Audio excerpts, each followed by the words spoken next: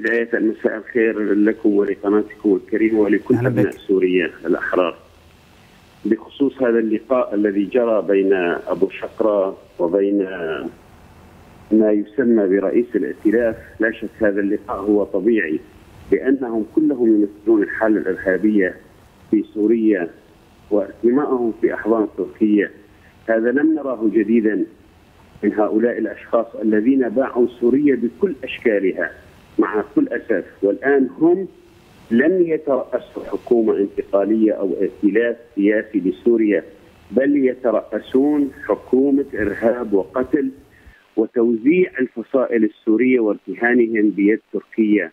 هذا الأمر ليس جديدا بالنسبة لهؤلاء لأنهم لم يدركوا ما معنى الوطنية التي نستطيع من خلالها أن نحل الأزمة السورية ولم يدركوا الحوار ما بين أبناء سوريا بل أدركوا ووعوا كل هذه الفترة بأن السلاح هو المخلص الأساسي لهم.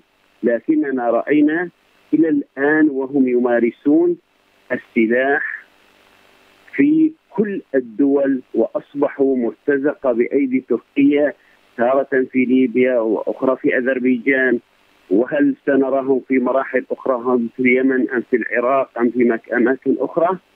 مع كل أسف أكرر وأقول هؤلاء ما يحصل منهم الآن هو أمر طبيعي بالنسبة لهم لكن بالنسبة لنا هم قتلة وسيبقون قتلة ومشتركين في دماء الشعب السوري وخاصة الشهيدة هيفرين خلف ونراه الآن يجلس بجانبه وقبل فترة أيضا مع المسقط وغيره من القياديين نعم. السياسيين السوريين طيب أستاذ إبراهيم يعني هذا اللقاء إلى أي درجة يكشف ويسلط الضوء على الترابط والصلة بين هذا الكيان السياسي والإرهابيين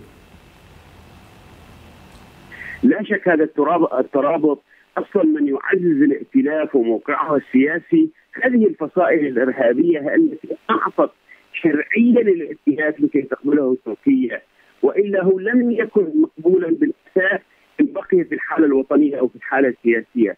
هؤلاء هم الذين يدعمون الائتلاف ويبقون ضمن الدائرة التركية، هؤلاء يعززون دور الائتلاف بالنسبة لتركيا، لكنهم هل يستطيعون أن يحلوا المسألة السورية أم لا؟ ما رأيناه على مدى تسع سنوات أو عشر سنوات سنبدأ في العام العاشر. لم يحركوا ساكنا بل قتلوا أبناء سوريا والآن وصل عدد الشهداء أو القتلى في سوريا ما يتجاوز المليون. وتشريد أكثر من 12 أو 13 مليون من أبناء سوريا بين نازح ومشرد. طيب أستاذ إبراهيم أيضا كيف يمكن استثمار هذا اللقاء مع الإرهابيين بين الحريري والإرهابيين خاصة أن القتلة هافرين خلف آه، تم تسليط الضوء عليهم بأنهم مرتكبي جرائم حرب خلال تقارير أممية تتحدث عن ذلك. اذا آه، نصر الحريري يشارك في بعض المحافل الدولية، كيف يمكن التسليط على هذه النقطة. لقائه مع الإرهابيين؟ والله هذا الأمر نحن قبل طلبنا ولا زلنا نطالب من الجنايات الدولية بمحاكمة الحكومة التركية ووزير الدفاع وأردوغان. لا شك نحن نطالب أيضا بأن هؤلاء يعرضون إلى المحكمة مثل رئيس الائتلاف أو غيره.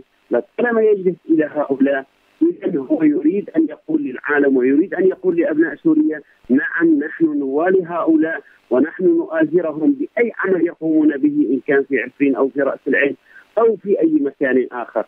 حقيقة يجب أن يتحولون إلى المحاكم الجنائية الدولية ويعتبرون بأنهم مجرمي حرب نعم. إن كان رئيس الائتلاف السوري أو غيره من الحكومة التركية وعلى رأسها الرئيس آه، التركي رجب طيب أردوغان ووزير دفاعه وأيضا هذه الفصائل وأيضا هذا أبو شقرة وغيره من الذين اشتركوا في مقتل الشهيدة الرفيقة هيفرين وأيضا قتلوا كثير من أبناء سوريا وهم نصنفهم الآن ويجب أن يصنفهم المجتمع الدولي بأنهم مجرمين حرب. رئيس حزب سوريا المستقبل إبراهيم قفطان أشكرك جزيل الشكر. كنت معنا مباشرة من منبج.